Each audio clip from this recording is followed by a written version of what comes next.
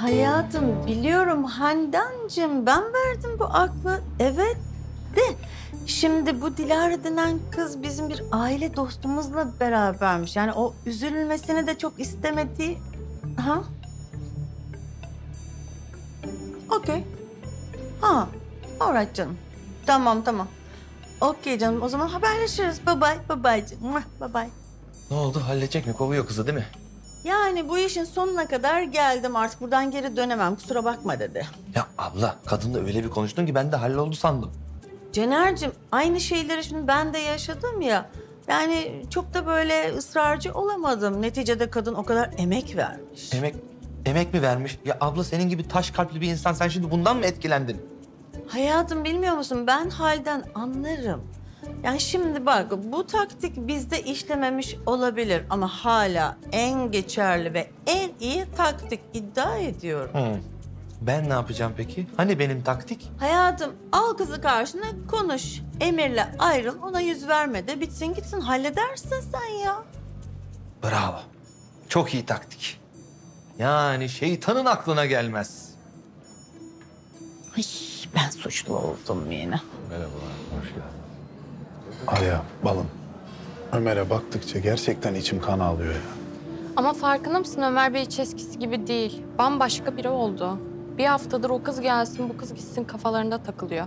Ama işte bu işler böyledir. Yani birinden sağlam bir kazık yedin mi hemen herkesi yakma moduna geçersin.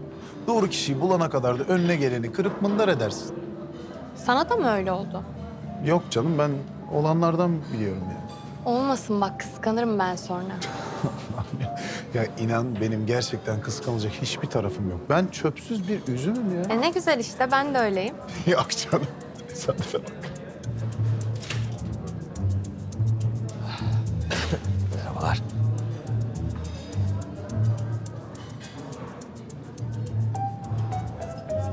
Şu hale bak. Etrafımda artık hiç gerçek bir şey yaşanmıyor ya. Hacı hayırdır ya senin canın mı sıkkın? Yani öyle genel diyelim, hayat diyelim. Aa Caner sen de yani. Biraz hayat olumlu bakmaya çalışsana. Bilal'cim herkesin hayatı o kadar kolay olmuyor. Bak yumurtadan yeni çıkmış karette karette gibi hayatta kalmaya çalışıyoruz. Ay ne tatlısın sen ya. Neyse benim kahvem olan bitti işimin başına geçiyorum. Hadi bakalım git git. Görüşürüz balım. Ne var ya? Mide asidi mi? Ne oldu? Yok sen asidi. Ben ne asidi ya? Ne ya ne? Balım ne ya? Balım balım ne Allah aşkına? Ya sen bana yükseliyor musun? Ha? Sen çok sevmedin değil mi Dilara'yı? Aa Emir sen çok değişmişsin, gelişmişsin bayağı ya. Yemin ediyorum zehir gibisin. Resmen zeka küpüsün. Nereden anladın? Eyvallah hacı. Bak, neler döndüğünü biliyorum tamam mı? Bu bir sendrom. Hı. Ne sendromu? Kankalar arası eş bulma sendromu kardeşim. Şimdi iki tane uzun süre sap takılan kankadan biri bir eş bulunca... ...diğeri bir takım psikozlara, yoksunluk sendromlarına girip... ...araları bozmaya bile çalışıyor. Anlatabiliyor muyum? Hı. Bunu bana bir yerde okudum deme sakın. Tabii ki hayır. Bu tamamen kendi tezim. Bravo diyor.